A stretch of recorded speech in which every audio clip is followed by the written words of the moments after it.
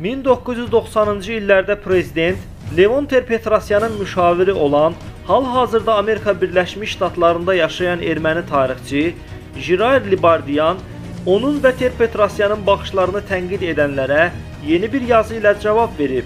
Armenian Mirror Spectator portalında çıxan məqalədə Libardiyan 1-ci Qarabağ müharibəsindən bəri Qarabağla bağlı Ermənistanın kompromisə getməli olduğunu, İrəvanın Bakı və Ankara ilə uzlaşma yolları tapmalı olması fikirlərini bir daha müdafiə edərək 2-ci Qarabağ savaşında erməni tərəfinin məğlubiyyətinin səbəblərini açıqlayıb.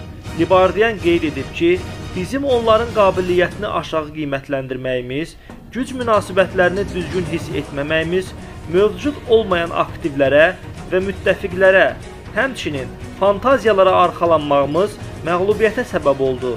Eləcə də o xəyalpərəstlərin revanşist əhval-ruhiyyəsinin davam etməsinin ermənilərə daha böyük fəlakətlər gətirə biləcəyi barədə xəbərdarlıq edib.